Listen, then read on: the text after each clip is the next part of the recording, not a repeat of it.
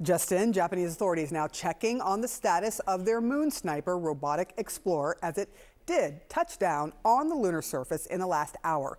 They'll provide updates just in a bit. Let's get to CNN's Kristin Fisher. It appears the Moon Sniper did land, um, but not in the Sea of Tranquility, somewhere else. Correct. It's called the Sea of Nectar, uh, Sara. And uh, what we know is that this spacecraft called SLIM, which is short for the Smart Lander for Investigating the Moon, uh, it has touched down on the surface of the moon. Uh, but the big question is, what kind of condition is it in? The spacecraft is communicating with the ground, specifically Japan Space Agency or JAXA.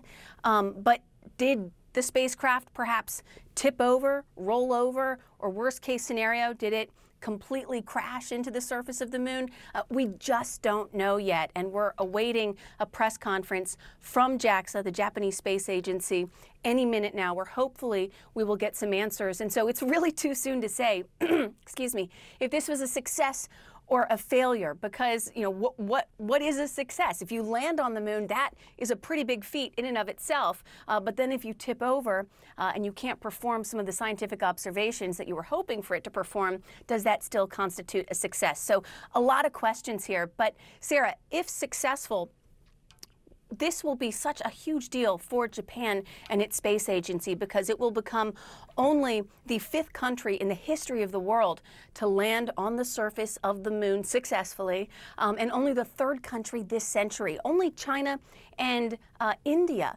have done it it's been more than 50 years uh, since the U.S. has done it, which was back in 1972 at the end of the Apollo program. So, really, a momentous moment for Japan Space Agency. Everybody's really holding their breath, waiting to see what is going to happen. And, you know, in addition to these historic firsts, potentially, this rover called the, the Moon Sniper is demonstrating this really cool pinpoint technology, trying to land in an area just the size of a football field. You compare that to previous landers, their target landing site was several kilometers, even miles long. So, if successful, not just a historic first for Japan, but also a really impressive step forward in terms of the types of technology for these kinds of lunar landers. I'm just being told there is a press conference from the Japan Aerospace Exploration Agency about the spacecraft on the moon. Let's listen in. At 1020 JST, a smart lander for investigating moon uh, landed uh, on the moon. We have been able to confirm that it has arrived on the moon uh, surface. My name is Kuninaka, uh, the, the Director General uh, of um, ISAS. As uh, was explained, uh, smart lander for investigating moon SLIM. Um, we made a, a, challenge to landing on the moon. Now, uh, the SLIM uh, has um, uh, been communicating uh, to the Earth uh, station, and it is um, receiving command from um, the Earth accurately, and is the spacecraft is responding to these um, um, in a normal way. However, it seems that the, the solar uh, cell is not generating electricity at this point in time. And since we are uh, not uh, able to generate electricity, and so the operation is being done using batteries on load. And um, based on the data, um, uh, and landing has been stored uh, on this spacecraft.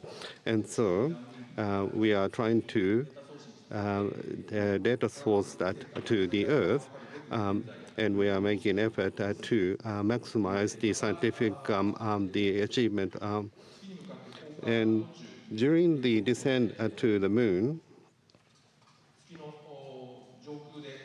and while hovering above the the, the moon uh, surface, uh, we have been able to uh, separate LEV 1. And LEV 1, once um, separated, will automatically send um, the uh, uh, signal, and that um, has been successful. So uh, we do consider LEV 1 and LEV 2 have been successfully separated.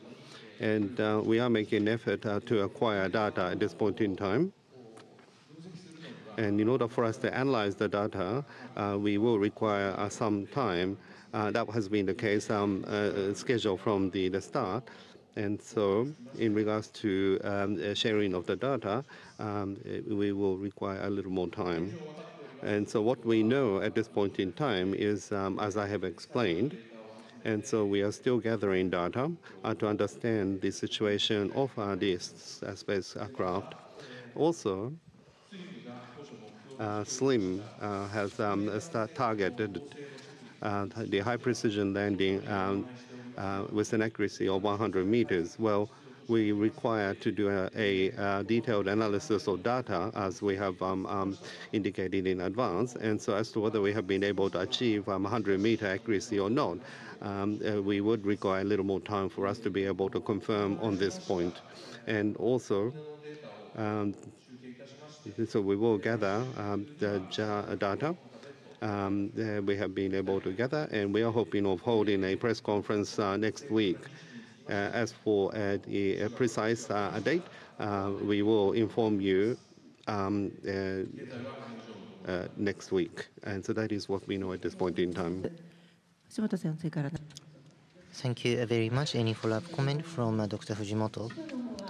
Thank you. Thank you very much. the materials have been distributed to everybody in the venue and also those who are participating through uh, WebEx uh, online. We are also web streaming this uh, program. So if you haven't received the materials yet, please wait for them.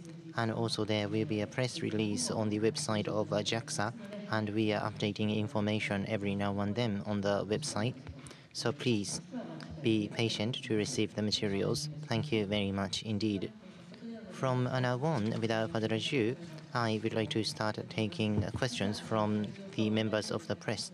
So we have um, members joining in the venue as well as online participants.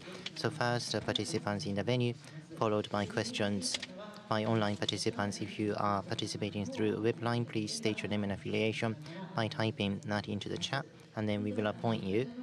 So from uh, the venue, please wait for the microphone. Once you get the microphone, please state your name and affiliation before you ask a question. And since there are many members of the media joining this session, so please limit your question to just one question and be brief. Now, All right, you've just been listening to a live press conference out of Japan, with Japan essentially confirming that the lunar spacecraft, the lunar spacecraft, is now on the moon. They had been uh, checking its status earlier. They weren't necessarily sure, but they have confirmed that the lunar spacecraft is on the moon. It landed around 12:20 a.m. Saturday local time. They said that it is receiving command from the Earth. Unfortunately, though, they did mention the solar cell is not generating electricity, that it is using uh, batteries. And as a result, because this has been successful, Japan is now officially the fifth country ever uh, to accomplish this.